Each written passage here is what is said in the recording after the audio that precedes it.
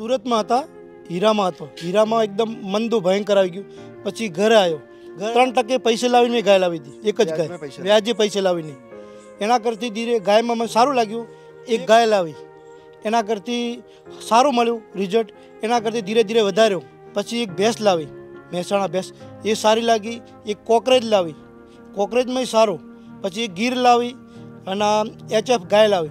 એમાં ધંધામાં સારામાં સારું મળ્યું. છે કાંકરેજ છે ગીર છે ભેંસ છે અને ગાય શંકર ગાય પણ છે. ના ઓલાદભાઈ મહેસાણા ભેંસ છે. મહેસાણા ભેંસ છે. ગીર કાઠિયાવાડની પણ એક છે કાંકરેજ પણ છે બધી ગાયો રાખે છે. ઘણા પશુપાલકો એવું કહેતા હોય છે કે મળતું નથી નુકસાન વાત છે. આ જાતે મજૂરી કરો તો સારામાં સારું રિઝલ્ટ મળે. પૈસા કમાઈ શકો બીજા કરતી સારામાં સારું છે. જૂના ડોકરા હતા ને એની મૂર્તિ પડેલી છે અમુક કે ધરામાં નીકળેલી છે. એનો ગાયનો ચહેરો છે વાછરડું પણ ધાવે છે. નાગ દેવતાનો ચમત્કાર હતો. એનાથી અમને ઢોરમાં વ્યવસાય કરી એટલે સુંદર રિઝલ્ટ મળ્યું. આજે મેં બેસાડી અને હું બે ટાઈમ પૂજા કરું છું. નાગ દેવતા કેટલી આવક થાય છે નવથી દસ લાખ રૂપિયાની. બે ત્રણ લાખ રૂપિયાના ફોઈ મળે.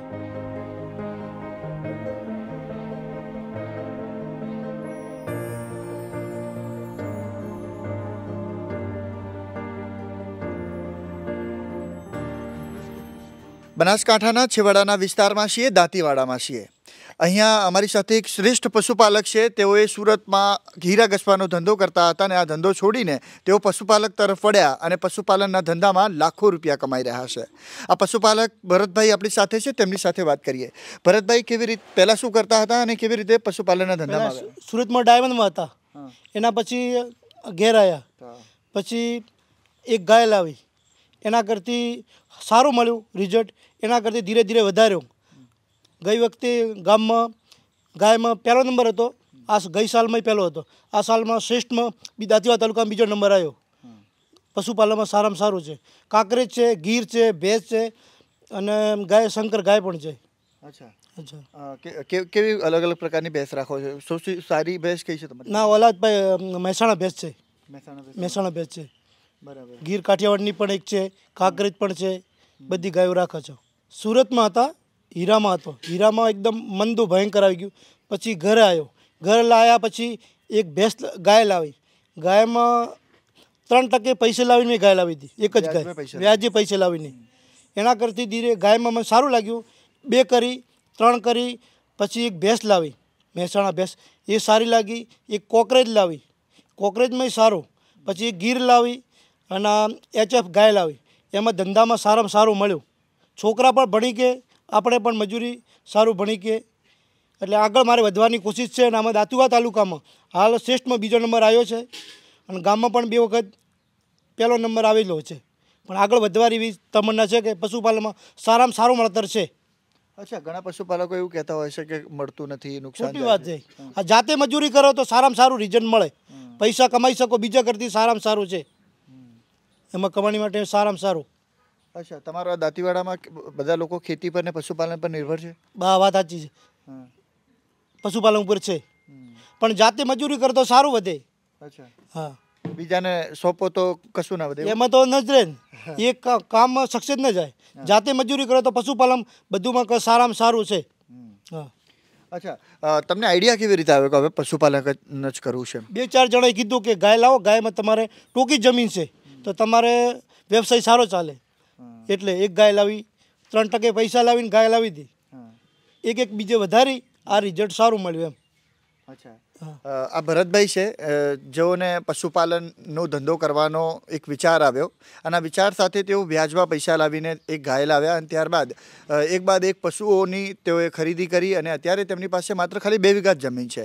અને આ બે વીઘા જમીનની અંદર જ તેઓએ પશુપાલનનો ધંધો કર્યો, મામૂલી એક સામાન્ય ખેતી કરી અને પછી અત્યારે લાખો રૂપિયા કમાતા થયા છે. આ પ્રેરણાદાયક છે બીજા અન્ય પશુપાલકો માટે જે પશુપાલકો ફરિયાદો કરતા હોય છે કે પશુપાલનના ધંધામાં પૈસા નથી મળતા. પરંતુ આ ભરતભાઈ સાક્ષી પૂરી રહ્યા છે કે પશુપાલનના ધંધાની અંદર કેવી રીતે આવક ઊભી કરી શકાય છે.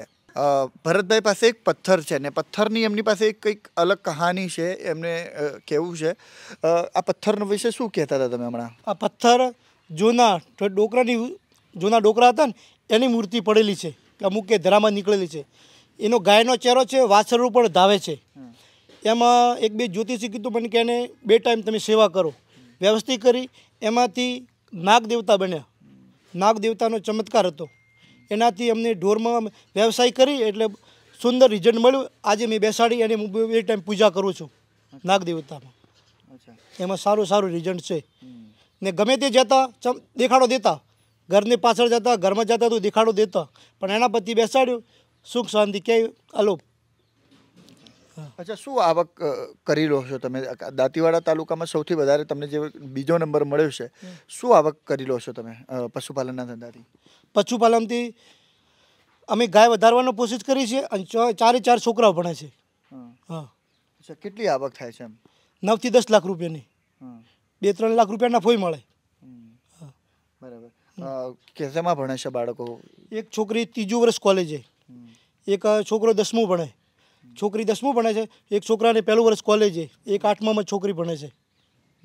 ચારે ચાર છોકરાઓ ભણે છે. અચ્છા તમે પશુ છોકરાઓને એવું કહો છો કે તમે પશુપાલનમાં આવજો? નહીં. એ ભણવું જ જરૂરી અને એમાંય શીખવું જરૂર છે. એમ. બાય ચાન્સ કાંઈ ન થાય તો પણ પશુપાલન આપણા સારામાં સારો ધંધો છે. ભણવું જ જરૂરી છે એમ. એજ્યુકેશન હોય તો બધું થઈ જાય એમ. ભણવું જ જરૂરી. સંસ્કાર પણ ભણવો જરૂરી છે. સંસ્કાર સાથે હોવા જોઈએ એમ. ઘણા બધા એવા ભણેલા લોકો પણ છે જે પશુપાલન કરે છે ખેતી કરે છે. હા એટલે સંસ્કાર હોવા જોઈએ ભણવું પણ હોવું જરૂરી છે. તો પશુપાલન થઈ જાય અમુક ડૉક્ટરો એ પશુપાલન રાખી શકે છે. માણસો રાખીને એમ. પણ જાતે કરે તો સારામાં સારું.